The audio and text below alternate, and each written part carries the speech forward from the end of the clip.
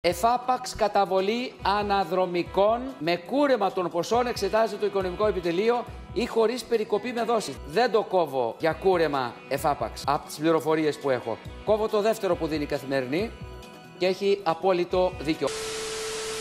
Σε μερικές εφημερίδες αναφέρεται και ένα κούρεμα. Μπαίνει θέμα κουρέματο, κύριε Υπουργέ. Δηλαδή. Δεν, δεν, θα απαντήσω σε, κα- δεν θα απαντήσω σε κανένα σενάριο. Έχουμε τη δυνατότητα το επόμενο χρονικό διάστημα, όταν λέω διάστημα μπορεί να είναι μήνες και χρόνια, Ναι. να, υποφ- να, να πληρώσουμε τους Έλληνες συνταξιούχους τα αναδρομικά αυτά.